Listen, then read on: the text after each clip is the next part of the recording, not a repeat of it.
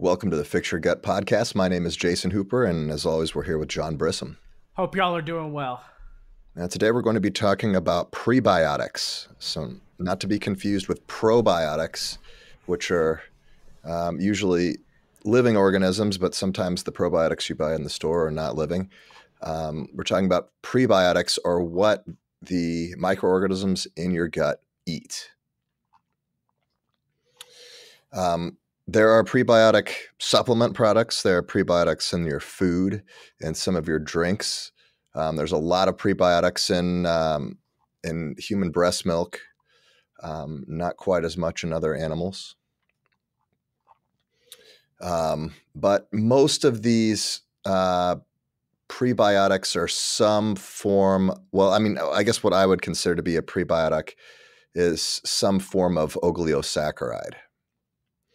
And if you know anything about FODMAPs, the O in FODMAP is oligosaccharides. And um, it was once thought that uh, if you have SIBO or some sort of dysbiosis, it might be a good idea to avoid oligosaccharides. But in the past five years or so, we've kind of changed our minds on that. And we've seen a lot of people who benefit greatly from uh, oligosaccharides uh, certain types of oligosaccharides, of course.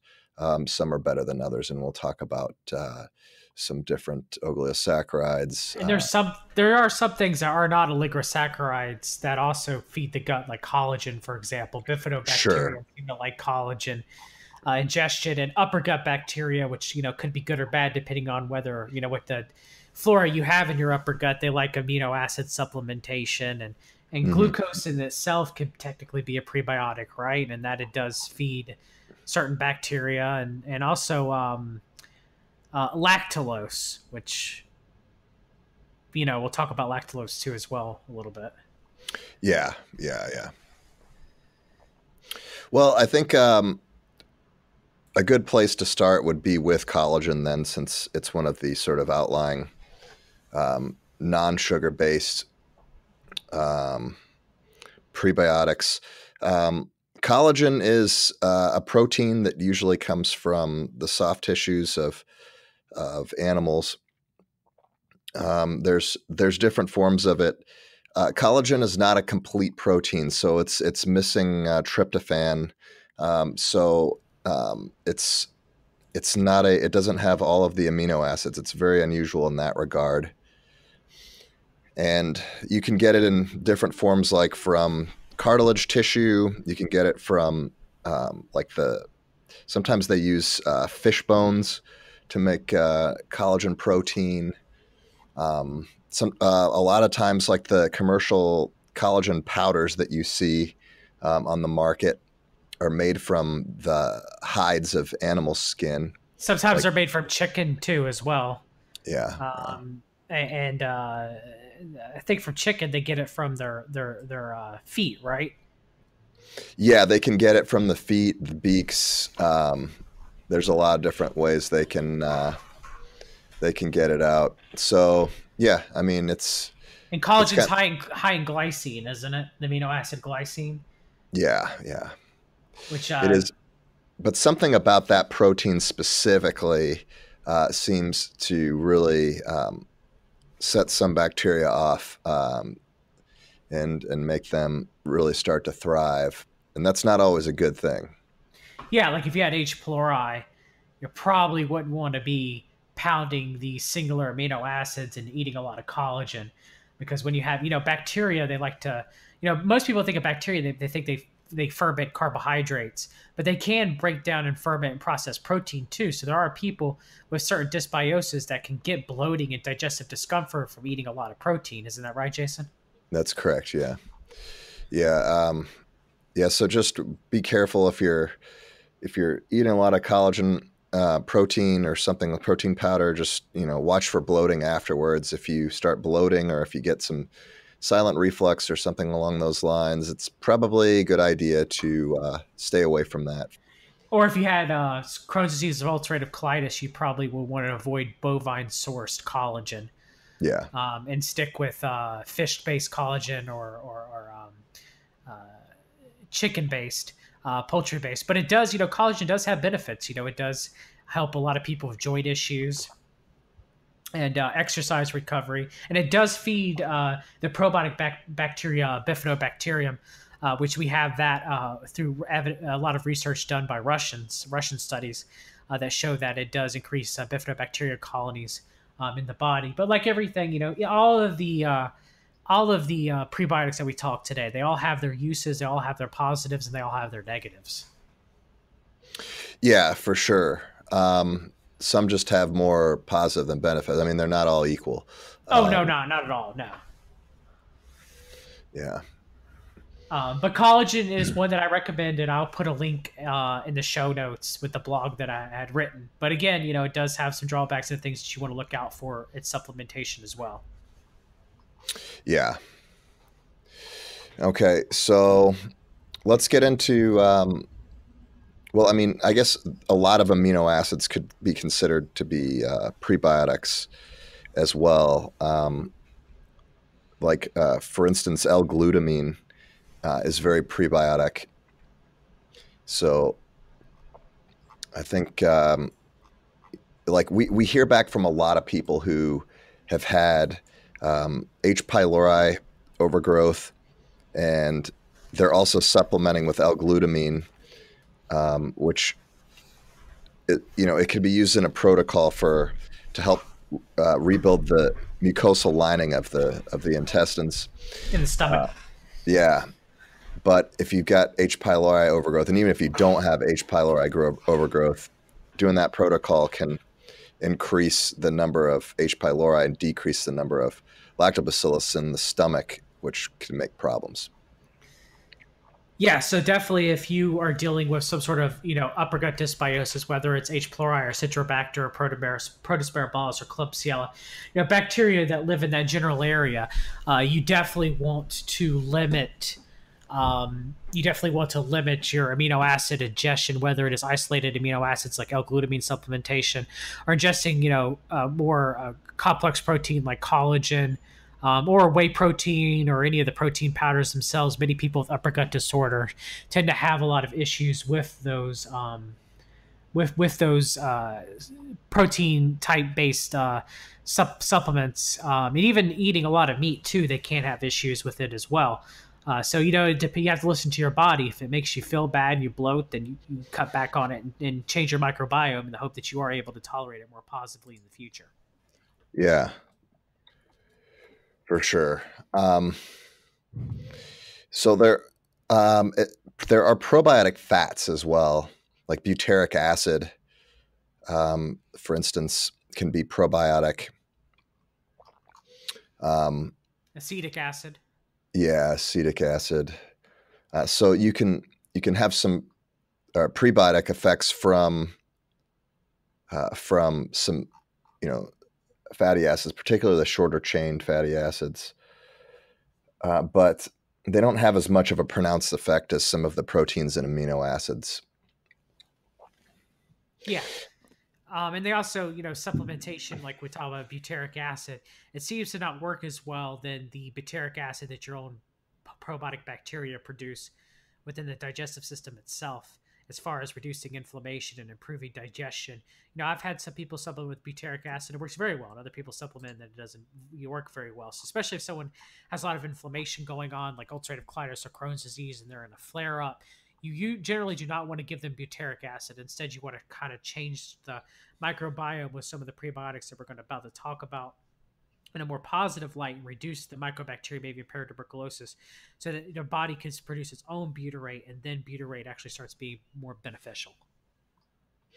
Yeah, that's right. Um, so the, the I guess the most pronounced prebiotics that we we talk about and that we know about right now are they're carbohydrate based uh, and they're specific carbohydrates called oligosaccharides, which are these complex sugars, um, and they're they're in a lot of the foods we eat. They're in uh, they're in pretty large quantities in in human milk, um, and so we have this whole category of oligosaccharides called human milk oligosaccharides, or HMOs for short. Um, and not to be confused with the HMO on your medical insurance. These are a different type of HMO.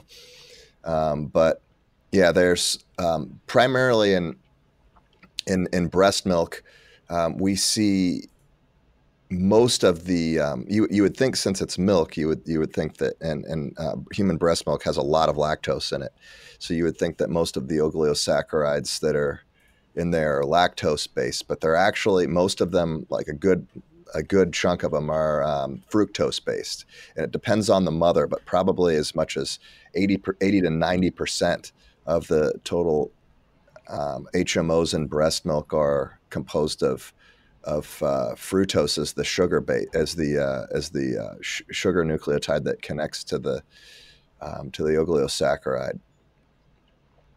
So there are all kinds of um, of these sugars of these HMOs. I mean, there's like we're still. I'm saying we, but like uh, people that are researching this are they're still identifying new sugars and they're still identifying new genes um, that produce enzymes that can make new sugars all the time. Uh, and it's it's kind of an interesting uh, interesting thing. Some of them actually are not prebiotic, but they're they act as um, anti-adhesive antimicrobials, and they help reduce um, H. pylori in the gut uh, because when they they bind to the uh, mannose connecting glycans for H. pylori, it just kills them, uh, which is kind of cool, I think. Um, so uh, some of these HM, not all of the HMOs are prebiotic. Some of them are actually antimicrobial in nature. Um, so I guess the most common um, prebiotic that we're going to likely see on the market is fructooligosaccharides or FOS for short. And if you're buying a supplement or if you're getting it from food, that's the most common one in nature. And it's the most common one that you're going to see on the supplement market. Um, yeah, I mean, with FOS, with fructooligosaccharides, um, you know, they're found in very like inulin rich foods like chicory and onion, banana, garlic, asparagus, uh, wheat, uh, tomatoes, and the Jerusalem artichoke. So mm-hmm. the FOS, it tends to be, it's one of the most problematic prebiotics. Would you agree, Jason? I think that it's one of the ones that may do more harm than good in some people. Yes. Um, not that it's saying that its ingestion isn't important and for a healthy microbiome. It is, but you don't want to overdo it because it can produce a lot of gas or or, or bloating. Um, but yeah, I mean, I recommend most people, and I you probably would too, to get most of their FOSs from foods instead of taking an isolated FOS supplement. Yeah, I, I, I would tend to agree. Now it's like that doesn't mean that you shouldn't like stop eating um, certain foods because they have S- FOS, but um, you know, like if if you're having these overgrowth issues it might be something that you w- look to avoid in your diet, um, or you know start supplementing with a different prebiotic to help balance everything out. Yeah, because you know there's a, a study that just came out recently, or they keep saying, well, gluten insensitivity is about the fructan. It's not about the the the the, uh, the gluten uh, itself. And though there may be some truth to that, and I'm going to write about this very soon, uh, because you know FOS is is is is uh, is is a is a fructan. Um, so though they may cause bloating and digestive discomfort and stuff like that, it's more than just people have gluten insensitivity. Uh, then that's not celiac disease. It's more than just the fructans themselves that can cause issues. You know, it could be the gluten itself. It could be the combination of gluten and fructans. It could be the combination of gluten, fructans, iron fortification, and wheat and glyphosate. Uh, pesticide usage. There's many different functions of why a person may not be able to tolerate gluten, but can tolerate, for example, uh, uh, onions that would have, or uh, asparagus that would have a lot of fructans in them. And some people who have SIBO, you know, they can't tolerate any fructans. It just depends on the person. Yeah, yeah. Um, and the type of person, the type of fructan that um, that typically uh, is interacting with whatever's giving them trouble. The other things that are in the, the foods that they're eating, you know, onions, it might not be the fructans, it may be the sulfur. Could be, yeah, absolutely. It could be the sulfur compounds. It could be um, a lot of different things uh, for onions for sure. But you know, if you're eating Jerusalem artichokes, well, the culprit's probably the the fructooligosaccharide, the FOS. Yeah, it's just you know what we're. I guess the main thing we're trying to talk about today is is you're supposed to try the prebiotics that have less harm, and though fructan ingestion and FOS ingestion, inulin ingestion has helped a lot of people with digestive issues. It's also caused a lot of people with digestive issues, issues discomfort too as well. Yes. Yeah, for sure. Yeah. So I don't know. I would be really wary about supplementing with it. I wouldn't say you'd necessarily need to strike it from your diet entirely, depend uh, unless you're in a severe condition. But it's definitely not my favorite of the commercial prebiotic products. And it's the uh, most accessible and the cheapest too. It's dirt cheap. and That's why it's the most accessible. Yeah, well, it's really easy to make because you can. I mean, they, I mean, they either they say like, well, oh, we're extracting it from chicory or you know artichoke or whatever. Maybe some of them are, but it's also really easy to manufacture with yeast because the FUT gene um, is really easy to splice into a yeast cell and just they just feed them sugar and they crank out FOS. So um, yeah, they sure really make a lot of it, don't they? Yeah. Well, I mean, if you if you program them to, they do. So uh, that's that's something that uh, they can do uh, for sure. so yeah, the other commercial product that we see that's uh, the second most common is is GOS, and this has a different uh, sugar nucleotide to the oligosaccharide, um, and it uses uh, galacto, uh, galactose instead of um, fructose. So um, it's or, a galactose uh, is, I guess, part is it's it's a simple sugar, sort of yes, like it is. It's a monosaccharide sugar, just like uh, glucose. Right. So if you take glucose and combine it with with gal- sorry, galactose and glucose, and you combine those together, you get lactose. Um, so uh, it's it's a it's a simple sugar. It's a monosaccharide. Like uh, table sugar would be a disaccharide because you know there's there's two glucose. Um, fructose um, and glucose, right? Yeah, fructose and yeah, yeah. Um, same with with a lot of other sweeteners. So um, in any case, uh, GOS um, is found in mushrooms um, quite a bit. Um, and so. Animal dairy uh, that contains um, uh, sugar, so milk, cream. Right. Yeah. In fact, in, in ruminant animals, like in, in humans and, the human breast milk, the fructose derived um, prebiotics are more common, but in ruminant animals, the galactose based are much much more common and in shorter number. And um, I'm I'm kind of theorizing that the reason why that is is because they they have multiple stomachs, right? So, or the majority of them have multiple stomachs. So it's like a cow. Um, has four stomachs, right? Yes, yeah, so you, you don't necessarily um, like their digestion is is working differently than humans, so they probably need uh, different sorts of prebiotics to make everything work. Um, and if they get too much gas in their stomachs, then they can have serious problems, even die. Um, so yeah, so yeah, but they, they produce a lot of methane. You know, sometimes farmers have to go in and puncture their stomachs to let the gas out. Yeah, it's crazy. They, yeah, and they usually don't live after that. I mean, it's no. that, that's like a last ditch thing. But yeah, I mean, it's that's not a good deal. Like if they get like if they get into like a patch of clover after a frost or something like that, eh, it's just I'm not sure like some sort of oligosaccharide occurs um, after the freeze. Like the plant starts to conserve its energy by converting the carbohydrates over, and then you know, the cows eat it, and, and the hydrogen uh, bacterial dysbiosis goes crazy, and then their methane dominant archaea produce a crap ton of methane, and they can't handle the methane, so they bloat horribly to the point where the cows on the ground dying from bloating. Yeah, yeah, and they usually don't live after that. Unfortunately, there's not a lot you can do. So yeah, so GOS we see it a lot in mushrooms. We see, we see it a lot in, in animal and uh, ruminant animal milk, um, and I think it's a much better prebiotic than than FOS.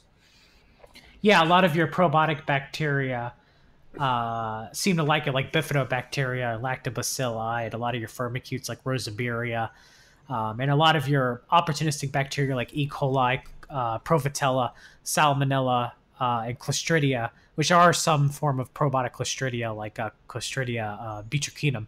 Uh, but Clostridium difficile uh, seem to not like uh, galacto-oligosaccharides very much. Yeah. Um, there's a lot of uh, different uh, bacteroids that that feed off of it too. Um, like the old, the one that we used to call Infantis. Um, that we call it like planetarium now. Um, oh, lacto, you talking about Lactobacillus plantarum? Right, right, and the uh, yeah, um,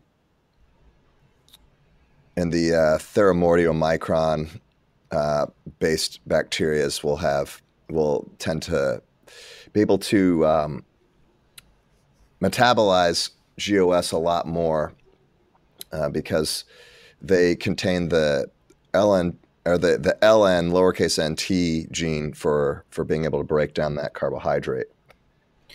Yeah, I mean, galacto-oligosaccharides ingestion seems to also increase secretory IgA levels in people with very low secretory IgA.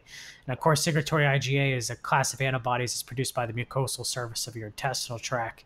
Um, and it's kind of like a way of activating the immune system against endotoxins and pathogenic organisms and stuff like that. So people with very low secretory IgA levels and like Genova tests and everything, it tends to be they tend to suffer from severe leaky gut because the immune system is not being activated properly and the gut junctions tend to be more wide open.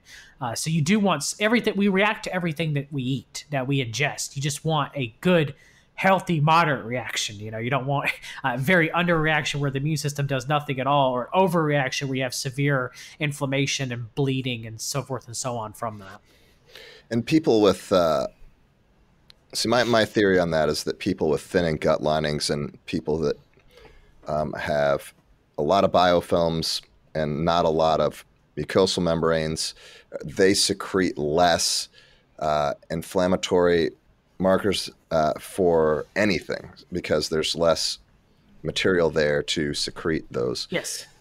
And so, you know, the the solution to that, you know, probiotics, prebiotics work well for that, but just anything you can do to um, to increase that mucosal membrane so that you you know you can secrete more. I think that's really important.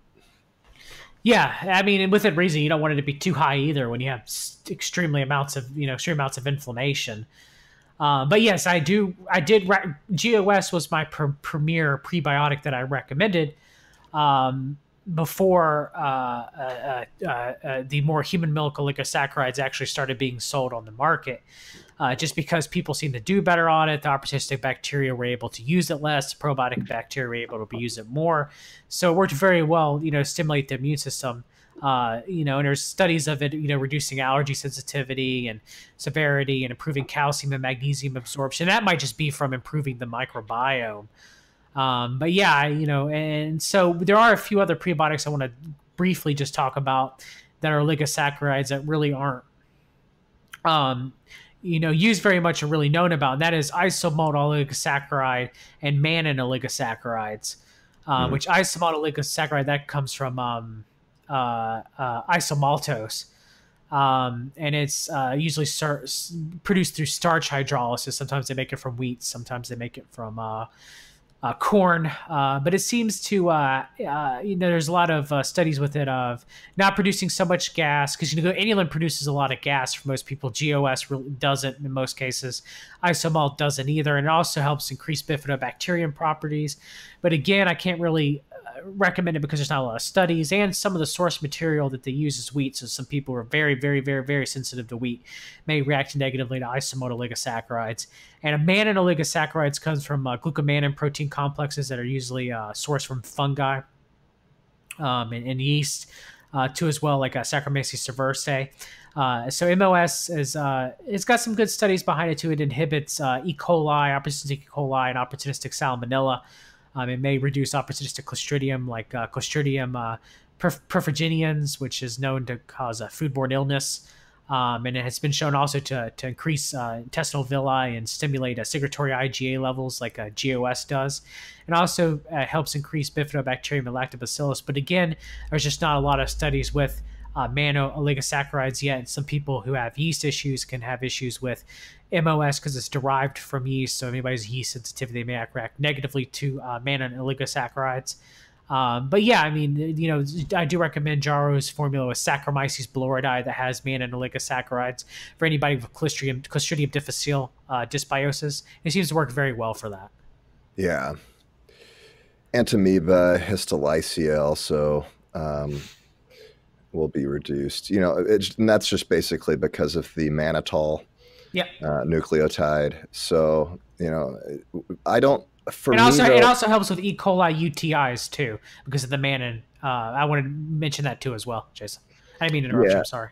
I, no, it's all right. It's just for me, I just don't see that much of a increase in benefit from using that over just straight mannitol. Or it might be better for most people just to ingest cranberry juice. Um, yeah, I mean that that has a lot of mannitol in it you know, and it's it's the concentration isn't as uh, high. Right. Yeah. I mean, yeah. I usually like, rarely. I only usually recommend D-mannose use in people who specifically know that their urinary tract infection is E. coli based because it works very, very well for that. Yeah. Yeah. Um, but those were the other oligosaccharides too that I wanted to mention that are out there that are lesser than GOS or lesser than um, FOS. Now, have uh, one last thing I want to mention too before you get to the the the, the human-based ones is arabinogalactan, uh, which is larch fiber, which many people um, use or you could do well well with that with a prebiotic. Um, now, arabinogalactans are normally found in foods like carrots, radishes, pears, corn, tomatoes, coconut milk, and uh, meat. Is also found in the herbs echinacea, curcumin, and mistletoe. Um, and uh, most people that I recommend the use of arabinogalactans for are fit into two categories. Uh, one, people with allergies because it seems to reduce Th2 dominance very well. Uh, and second, people who are, have severe lactose intolerance, whether genetically or microbiome based, that cannot tolerate uh, a lot of the uh, uh, lactose based oligosaccharide prebiotics. Um, how, what do you feel about arabinogalactan or larch tree fiber, Jason? I haven't read too many studies on them, um, so I don't really, and I don't have any data on that. So I don't know. That's kind of a new one for me.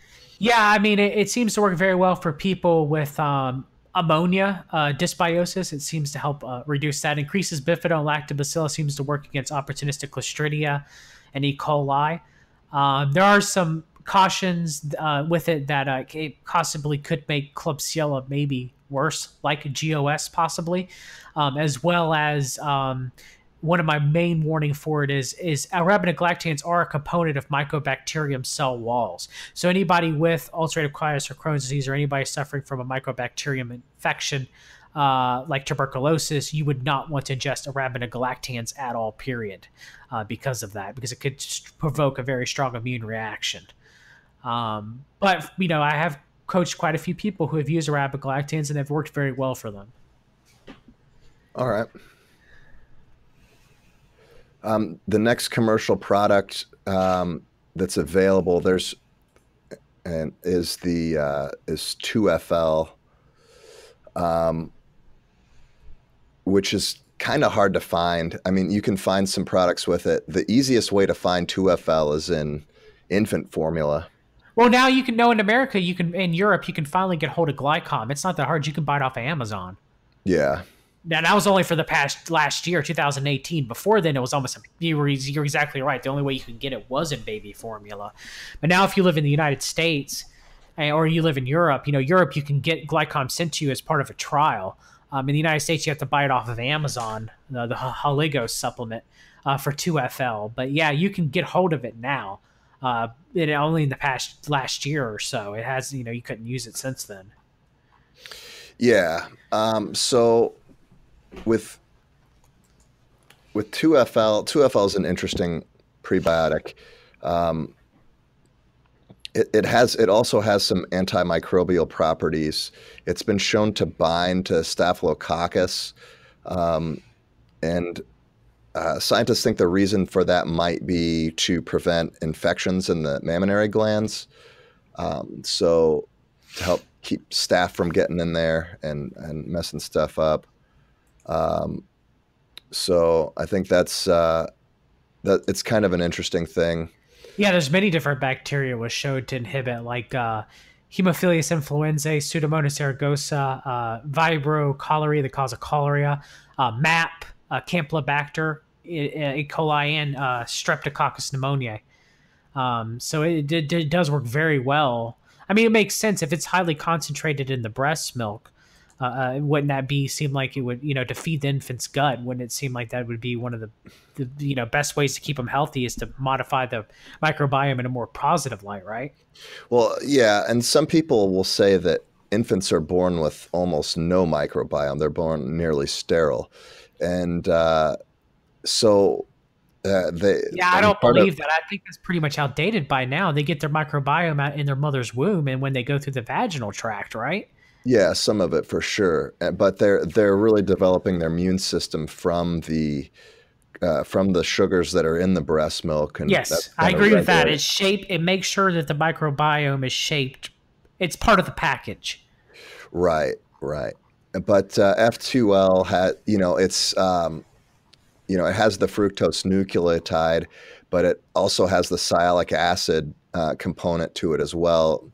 Um, so it it really does have an influence on the microbiome. It um, you know like some stuff it's like all right well bacteria like to eat this and certain bacteria like to eat this more and so they grow with this certain bacteria like to eat it and others it kills so and some like h pylori might possibly be able to use it maybe yeah. for adherence properties now we know that h pylori is able to use blood antigen uh, expressions for for for to bind. Um, but we're not sure. And we and through studies we know that one of the main ways that they make 2FL commercially is in in, in, in is is putting in um, H. pylori genes into recombinant E. coli to produce it. Right. Um, and I, I believe that H. pylori, I th- I, if you have H. pylori overgrowth, you should stay away from from 2FL. For sure, and maybe switch to something like 3FL. Um, which they, which actually they are starting. Hopefully, um, Glycom will offer that. They actually offer a 2FL, uh, 3FL blend. Yeah, yeah, they do. Just getting the pure 3FL is probably what you'd want to go with um, in that case. Uh, but um, yeah, that's those are the common commercial fructooligosaccharides. For others, you're just probably going to have to go to a lab for, unless you're going to drink human breast milk. Um, and uh, that's kind of a precious resource because you know it's for for babies. You know, so if you went to like a uh, what do you call those? Those milk banks or whatever, um, where pe- mothers are having trouble lactating or the infants having trouble latching, and some moms donate extra breast milk. I don't think you could just go down to one of those shops and be like, "Hey, could I have some?" Because I'm uh, I'm trying to uh, improve my gut. Like I don't think they're going to. No, actually, I was wrong. It doesn't have 3FL. It has uh, lacto lacto tetraose LNT. I'm sorry. Okay, yeah, got, the, I got that confused. It uses LNT and 2FL, not 2FL okay. and 3FL. My bad. That that makes that. that. makes more sense because uh, the other like the other one um, after we were done talking about the uh, fructose based oligosaccharides would be the lactose based, and that's like the major commercial. Um, LNT is. Yeah, yeah. Lacto and tetraose, yeah. Yeah. Nenotetriose, yeah. Uh, neo, sorry, neo, neotetrulose. Yeah. So, so like the, um, Yeah, that that's the other one that's that seems to be uh, pretty commercially available as well, and um, you can find that on the market um, as you know, and and some. Uh, you know, there, there's a company I think in Sweden that produces it. Now there's some labs in Europe that produce it and ship it over, and they're used in um, in some uh, infant formulas. They'll use two FL, three FL, and, and LNT. Correct. Yeah, yeah. But outside of the in, uh, infant formula, people who are you know they're looking for IBS remedies and whatnot, like they'll they'll have these packets of of you know sugars, and you just add them to water and drink it. Um, I mean, I guess you don't have to do it that way, but that's probably the easiest way to get it down. I guess you could just take it straight. but uh, yeah, yeah. I mean, do you think? Uh, I guess one thing. Okay, so the, the the main, I guess the main prebiotics that you and I would recommend, or at least I would recommend, and you can give off yours. Is mine would be 2FL for most people, and uh, you know, Glycom's, Holigos, 2FL for most people, unless they have H. pylori dysbiosis and galacto-oligosaccharides for most people unless they have Klebsiella or they can't digest lactose or arabinogalactan as long as a person doesn't have mycobacterium avium paratuberculosis which is cause of Crohn's disease ulcerative colitis or they suffer from severe Th1 dominance um, then I would not touch arabinogalactans but those are the three prebiotics that I would recommend um, I, I would substitute that last one for LNT. Okay. Um, that that would that would be my recommendation, just because we know more about it, and we we do know that it is a uh, uh, it is from human uh, breast milk. You know, it is an HMO, so um, there's there's you know we've been getting that as infants for thousands of years, so um, there's there's a lot of you know it's probably tried and true so although so, we don't don't have as many, yeah, like the study comparison, you know, isn't going to be there, but naturally speaking, humans yeah, you're right. getting that. So yeah, you, are definitely right. What about what about uh, sugar alcohols? Like, wouldn't they also have a prebiotic effect too, to some yeah. degree? Yeah, for sure. Yeah. Xylitol, mannitol, erythritol. Um, out of all the sugar alcohols, which one do you generally recommend? I know most people recommend erythritol. Um, Just as as a sweetener. Yes. And it would feed the gut, yeah. and it would feed the gut too. You know. Okay, so some of the issues with the, I mean, you have to understand that when you're playing around with these compounds, that, um, that it's it can be really dangerous because one of the worst toxins that we can be exposed to is lipo-oligosaccharides. That's when you take one of these oligosaccharides and you connect it to a fat. And that's that's bad because it gets stuck in our in our fat transport systems um, and our high density and low density packets that are transporting fat around the body. And then those packets kind of just get deposited somewhere in the body. And usually since you know the heart is the center of our circulatory system a lot of times it gets deposited there and it ends up as arterial plaque um, and sometimes it gets deposited in the brain and you don't want them in either of those places. Uh, if you're especially sedentary you might get it in your you know thigh tissues or, or, something but usually it ends up in your heart. So when you're playing around with these things you got to make sure that it's not being converted into into endotoxin um, and and the the issue with a lot of these um, these commercial uh, sweeteners is that that's exactly what they do. Now with mannitol, um, there's not a lot of evidence for that, but xylitol definitely is is going to be an issue. Um, erythritol could be an issue, and not not only it, the, the, formation of these endotoxins an issue, but you know what's the first thing that happens if you eat too much um, if you eat too much sugar alcohol? Well, you get massive diarrhea, right? So when you yes, it's that's osmotic body, laxative, like lactulose, any any of them. Right. So, um, and you know, sometimes they they use mannitol as a laxative, um, and and so not only are you getting uh, not not only are you getting exposure to endotoxin, but also um, that osmotic effect that comes in. The the reason why the water comes in is because the tight junctions open up. So when they're open, the endotoxins can come into the bloodstream, and you don't want them in there. So that's the double whammy. You have the creation of the endotoxins from those compounds, and you have a way for them to get in. So I would use sugar alcohols very sparingly. Yeah, I mean, like you know, lactulose, even though it's not a sugar alcohol, like I mentioned earlier, can cause diarrhea uh, too as well. Many people who use lactulose as a, as a as a as a medication to either treat constipation or reduce ammonia, which, by the way, um, uh, do better than that. I recommend that over lactulose any day. Um, they they could cause diarrhea too. So yeah, I mean, I only use xylitol and a little bit in chewing gum uh, which you'd be okay with that, right? Just a little bit in chewing gum and a little bit in, in, in, dental care products, right? I mean, that should be negligible in the amount that you're taking in, right? Right. Yeah. I mean, they're like really small amounts. It's been shown to, um, it's been shown to improve uh, dental health. Um, but yeah, they had that like, uh, what's that gum called? I have some right here on my desk, actually. I mean, I use, I use, um, uh, I use xylitol gum. I can't. I use. I don't use Spry. I use a different one, but it has like one gram of xylitol per two pieces or whatever, one milligram. Um, yeah, this one has one gram. Uh, one gram, should point, I say? 0.72 grams per piece. So, yeah. I mean, it's not too much, you know, and you're not eating it. You are swallowing some of it from your saliva, obviously, but.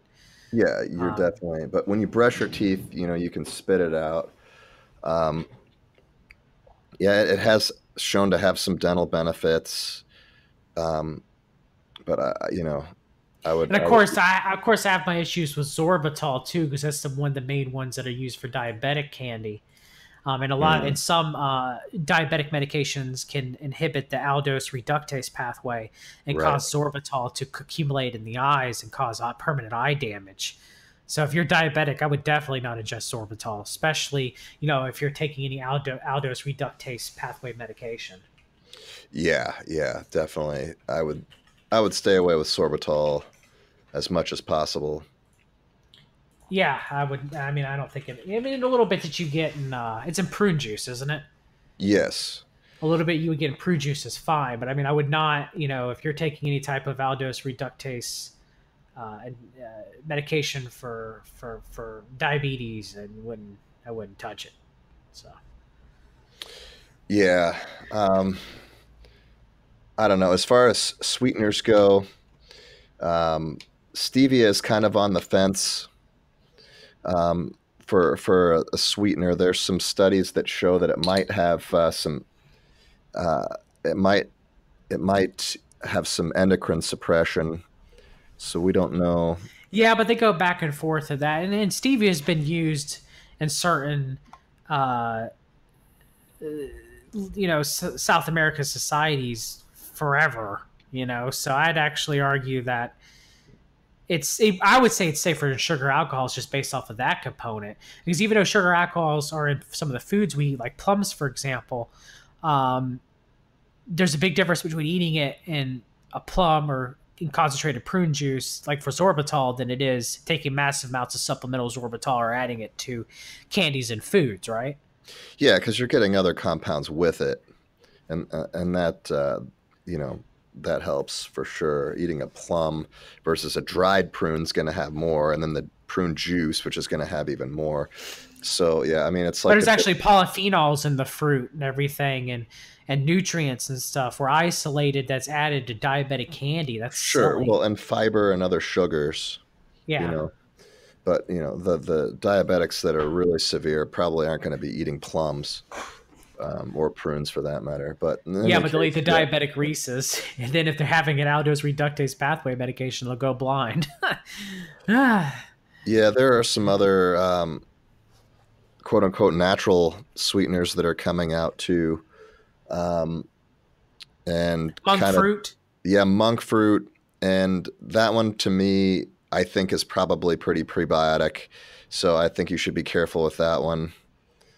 Um, just especially if you have any dysbiosis or overgrowth, I would be I would be really careful with monk fruit, fruit, but still probably superior to, you know, your your erythritols and definitely xylitol. So I guess as far as the best sugar alcohol is probably erythritol, more than likely. Yeah, I think it. Well, geez, I think yeah, it's probably the safest. Erythritol is. But if you're going to use, again, I would argue that if you're going to sweeten your stuff, it's probably best. If you're going to have a sweet thing every now and then, it's probably best to use honey and maple syrup and just deal with the sugar than to binge on these other, you know, low carbohydrate sweeteners because they all have their positives and negatives. I guess I recommend stevia as probably being the safest. I guess. Yeah. I I mean probably probably the safest. Um, it just depends on what your dietary deal is. Like if you're like a, a lot of people are doing the ketogenic thing, you know, and they're they're not going to want to well, they need to refeed every so often, unless it's That's a true, medical, yeah. unless it's a medical di- a ketogenic diet. And of course, right. if it isn't, yeah, you have to deal with stevia. I get it, but I mean, you know, most everybody else will refeed. If you have a little bit of honey or a little bit maple syrup, you right. wouldn't be against that, would you, Jason? No, I mean, and, and and the thing is, like, if you're not doing low carb and you're already eating carbs, you might as well. I, I think that if you're if you're just worried about um, decreasing calorie or your, your total caloric consumption. So you're using an artificial sweetener versus honey. I think it's going to be pretty negligible, and I think the the risks outweigh the rewards there. So if you're doing it for weight loss, I don't think that's really the way to go. Yeah, and I would say too that of course honey and maple syrup do have a lot of fructose in it, but they also do have a lot of minerals in them too, and a lot of properties. You know, honey has a lot of antibacterial properties, and hydroglycol and everything like that, hydroxyglycol and stuff. So, you know, even though you know we don't want to ingest a lot of fructose because it can't be bad for the liver, you know, within moderation, it can be beneficial. You know, it all depends on the person and their state of health. Yeah, how much you're consuming versus your body weight and what you're eating it with and all this other stuff. Like if you're just pounding down um, you know, like agave nectar or whatever, then yeah. Well, I would never, I would never touch agave nectar. There's not really much benefit to it compared to maple syrup or, or honey. Agave nectar is just so high in fructose. I think it's like 80, 90 percent. It's even higher than high fructose corn syrup. Yeah, actually, high fructose corn syrup is only half fructose, just like honey. Yeah, yeah. So I think so it, the high fructose corn syrup actually, I think, gets a pretty bad rap even though it does have its own negative, like mercury could be left over from processing and different things. I'm not a fan of high fructose corn syrup at all. But that being said, if you're looking at it strictly from a fructose component, agave nectar is far worse. And everybody's like, agave nectar is natural and blah, blah, blah, blah, blah. And it's just like, ugh. No, no. you just stick with honey and maple. Heck, even even table sugar, you know, uh, even even straight, you know, molasses would have more nutrient component than agave nectar. So, yeah, although not much in any of it. Hey, so, well, there is there is some nutrients in blackstrap molasses now. Yeah, yeah. There's there's some like trace minerals and stuff. So yeah, you, you pick up a little bit from the from the vat while while creating it. You know, you pick up some so, so, so, so, since we are on the topic, I know we were. I mean, these are all prebiotics. They all feature gut in one way or another. Um, what about like coconut sugars and stuff like that? How do you feel about that? That's that's pretty good marketing, I think. Yeah. With the the coconut sugar, it's like, oh, we extracted this from coconuts. Well, I don't know if they really did or not. Number one, you know, like evaporated cane sugar and evaporated coconut sugar. It's it's like the same thing. It's just regular table sugar maybe uh, I don't know. I think people are just really pulling hairs with that stuff. There's just any way you can make a buck, you know, and and I guess as we are talking about sugar and it is a prebiotic, um, anybody with upper gut dysbiosis like H. pylori should definitely, definitely, definitely reduce your added sugar um, or try to reduce, you know, avoid added added sugar or any source of table sugar because the H. pylori or many bacteria that are associated with upper gut dysbiosis will feed off of that um, and will cause digestive issues by increased production of endotoxins. Uh, yeah, I agree. Yeah, you need to uh, stay away from from table sugar for sure, and a lot of other monosaccharides as well. You shouldn't be pounding the sugar in your coffee in the morning, you know, putting two tablespoons in when you got H. pylori. no. And probably shouldn't be drinking coffee either. Just but, you know, remember, people, these, you know, prebiotics, depending on where they are, for example, inulin won't really, H. pylori wouldn't really affect inulin, right, Jason? Because it just wouldn't, wouldn't have time to ferment it. right? Um, probably not. Yeah. Unless you had severe gastroparesis. Right. Um, so you know, different bacteria they ingest and are able to break down and use and utilize different things. Yeah. So if you have colonic overgrowth, you actually might be able to get away with some sugar. If you have H. pylori, on the other hand, it's definitely not a good idea. Right. Yeah. And a lot of people have H. pylori. So switch to um, honey. is there any other uh, any other uh, prebiotics that we're missing? Anything that we can think of, or I guess uh, our blood group antigens with the FUT2 gene. I guess the expression of those uh, into our saliva and to our our mucosal barrier and stuff like that. Those would be prebiotics by bacteria too, right? Yeah, for well, for sure. Yeah, I mean that basically. Um, there's a whole series of FUT FUT genes that secrete, and not just us, but bacteria have them as well. And just remember, these things work both ways. So it's it can help to create uh, something, and it can also help to break it down. So which way does it go? And you know, sometimes we're breaking stuff down, and sometimes we're creating stuff. So with the fructooligosaccharides with the FUT2 gene, um, we can break some of the fructans down that we eat and use them as energy, and uh, we can also use it to help create some stuff. So um, that, but that tends to work more with our immune system. So. Yeah, where I, pretty much we exp- with people with FUT2 normal genes that don't have any polymorphisms, uh, they tend to express their blood histo uh, within their mucosal barrier and their tears, um, and, and so that tends to feed the bacteria in our microbiome. Right, right. And also, yeah. women with that gene too, without a polymorphism, tend to express more 2FL in their milk. Yeah. Yeah, yeah. Lots more. Yeah. Where, where um, other women tend to, they would produce more uh, lacto and uh, tetraose, LNT. Yeah, yeah. And, or, you know, there's a lot of other um, fructose compounds that they that they would produce instead. But most of them, they're they're still going to have, they're still going to be do, producing mostly fructose based um, HMOs. Uh, regardless of their secretor status, and and you know the the fundamental differences between some of these are pretty yeah, small. They'll, yeah, they'll produce three FL, right, and they'll produce L- LNFP three. So yeah, but it's just it is interesting about FUT2 about how a lot of people wouldn't think of that, that what makes your blood type O or A or AB. You know, FUT1 expresses that in the blood. FUT2, you actually express those antigens in your mucosal surfaces. Yeah, but they've also found that they're, that the, those are expressed in people of all blood types, just not as much. Yes. Um, not as prevalent in that amount. especially with these people, these polymorphisms, it's it's really bad off. It can lead to a lot. And I wrote a blog and I'll put in the show notes about it.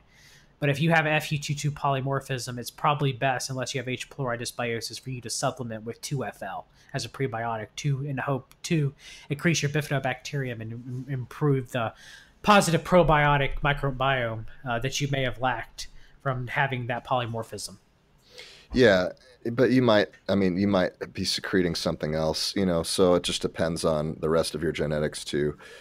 Um, a, a, lot of people i think they, you know, they, they use those 23andMe calculators and they just like overreact to these things and they don't understand like our system's pretty resilient so if something is something gets shut down uh, there's usually, something usually to make yeah. its place unless you're dealing with some sort of uh, amino acid metabolism disorder from birth. Most of most of those are fatal or mitochondrial right. uh, inborn diseases. Most of those are fatal. There's no redundant system for that. But for like for catechol methyltransferase, for example, polymorphisms, there are uh, other symptoms to reduce adrenaline or dopamine because if there wasn't, then everybody walking around with a COMT polymorphism, you know, you wouldn't have lived past being at birth because you'd have too much adrenaline circling through you, know, would never be able to break down properly. Yeah, yeah, for sure. Well, I guess we'll probably wrap it up there. Um, and I think we've covered a lot and probably uh, way more than people even want to know about. So uh, there's our there's our uh, prebiotic podcast. Well, hope y'all take care, and uh, we will talk to you again soon. Bye.